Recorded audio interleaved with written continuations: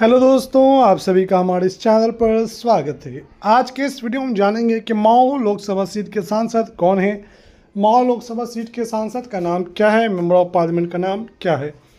तो माओ लोकसभा सीट से जो मेंबर ऑफ़ पार्लियामेंट है, जो सांसद है, उनका नाम है राजीव राय। राजीव राय जो हैं, वो माओ लोकसभा सीट से सांसद हैं और ये समाजवादी पार्टी से बिलोंग करते हैं, रिप्रेजेंट करते हैं। तो दोस्तों, आज के इस वीडियो में इतना ही। धन्यवाद।